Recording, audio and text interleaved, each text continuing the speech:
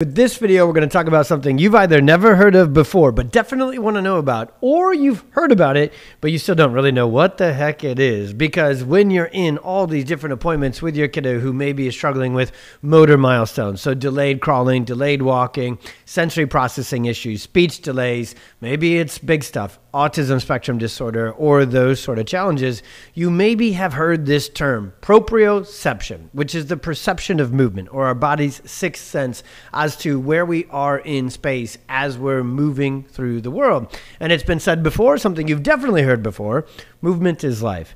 And especially for the developing brain of a child, that is the development of life. So, proprioception is a conversation that you're very familiar with if your child struggles with autism spectrum disorder, sensory processing disorder, or any sort of motor delays or kind of developmental milestones challenges. But it's also something we want you to be very familiar with if your child struggles with things like ADHD, sensory processing, or even anxiety and mental emotional well being.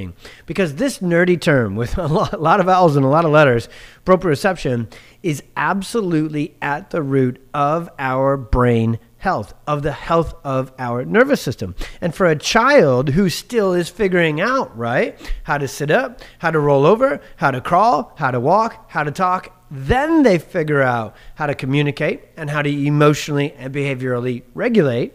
These are all things that are crucial to our children's quality of life, not just when they're little, but especially setting the stage through these developmental milestones and these neuromotor milestones, especially for overall health in every way later on in life. So even if proprioception, this is the first time you're hearing it, I want you to watch this video all the way through because you're going to learn a ton about when it goes haywire, when proprioception is interfered with, altered, and decreased how much trouble it'll really wreak havoc on your child's quality of life, not just with their movement, which is what it really does, but how much these challenges with what's called proprioception or subluxation spill over into the brain and the nervous system and cause challenges there as well.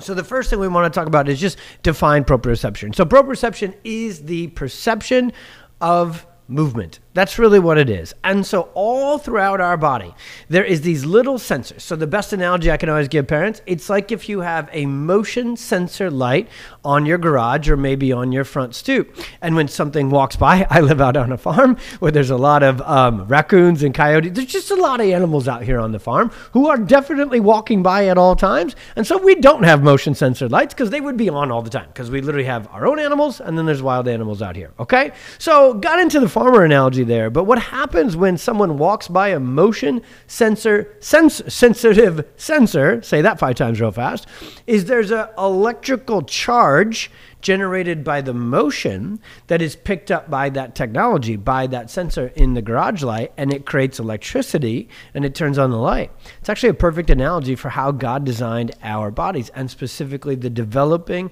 muscles motor, or better termed neuromotor system for our kiddos.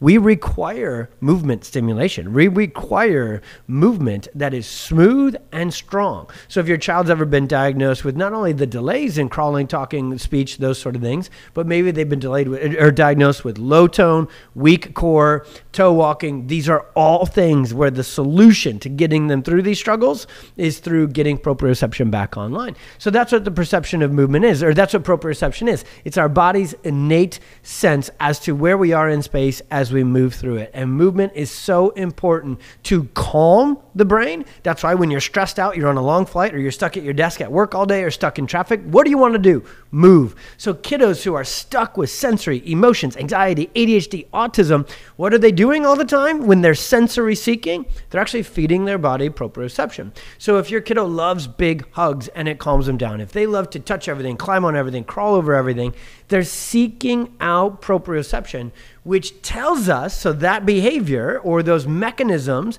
of sensory seeking, movement seeking, fidgeting, impulsive, biting, chewing, toe walking, I could go on the list of sensory seeking behaviors. It tells us they're lacking proprioception.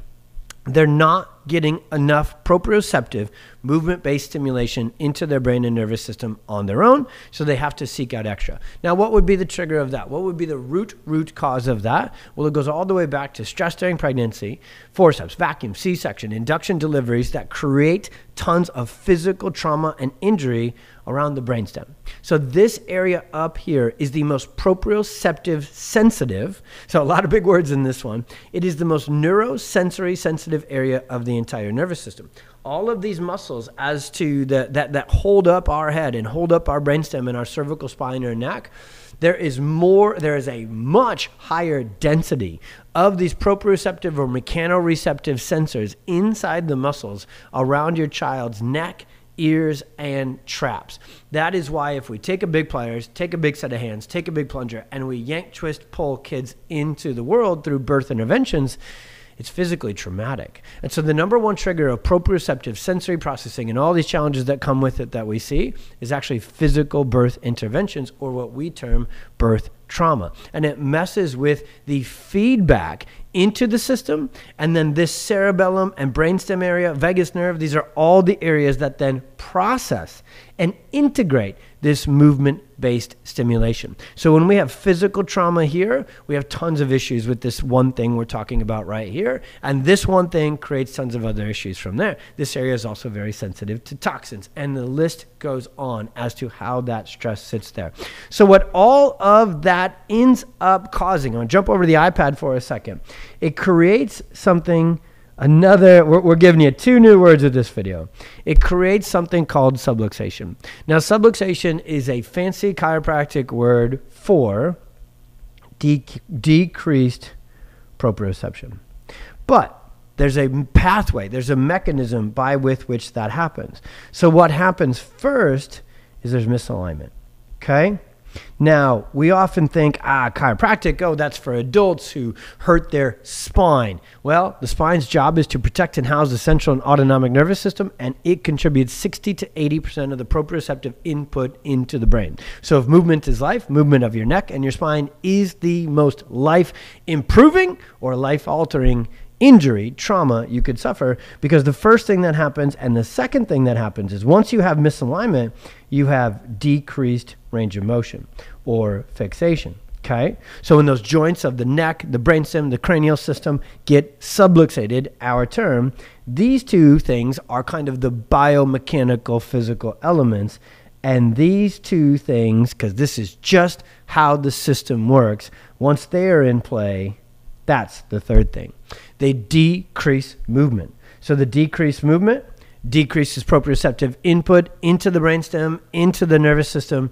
And when there is decreased proprioception into the nervous system, all of this adds up to an increase in sympathetic fight or flight reaction again, the best analogy I can always give parents as we wrap this one up about how important movement is and therefore how detrimental even a mild to moderate birth trauma or subluxation can be for a child and how overlooked and how crucial it is to motor milestones, sensory processing, speech delays, mental emotional, ADHD, all of it can be triggered by that birth trauma physical trauma, physical injury, subluxation, decreased proprioception, and all of this that we're mapping out on this video. And if you click the link either in the copy of this video or in the link in our bio, you'll find a whole article about proprioception and then the link between proprioception and what we call the perfect storm, which is this neurological sequence that happens all the way back pregnancy, labor, and delivery, and alters the development and function of our kids' nervous systems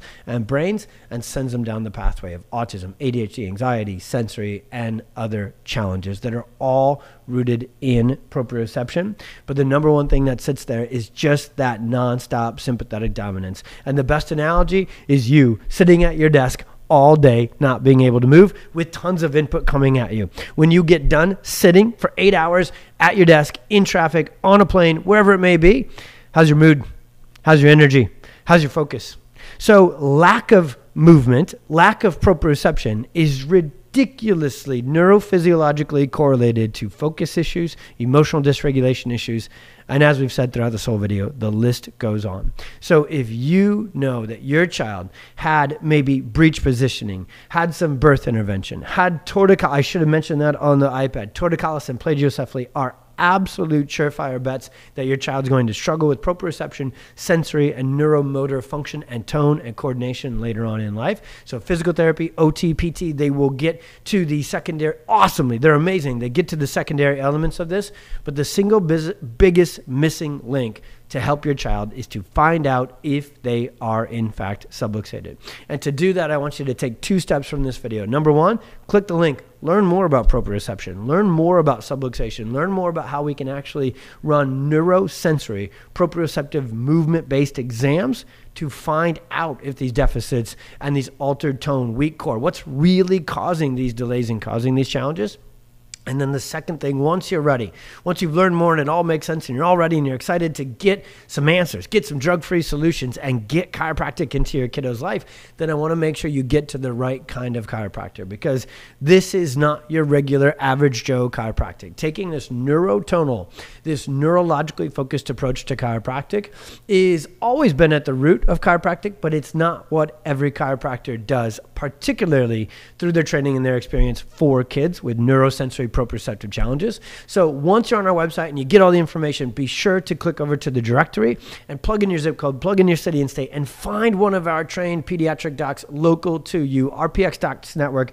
is absolute experts on this. And if your child has already been in speech therapy, been in OT, been in PT, and they're making some progress, but not big enough, not fast enough, or they're plateaued and not making progress at all, then those adjustments in chiropractic is absolutely the missing link, but you got to get the right kind. And that's what the website, that's what the directory will do for you. If you found this video helpful, please like it, please share it, please comment below. If you have any questions for us, you want to reach out to us directly through our platform, just send us a DM. We love talking about this nerdy stuff. We love talking about this neurology. We are here for you always with hope, answers, and drug free help. Hope this helped. Please share. See you on the next one.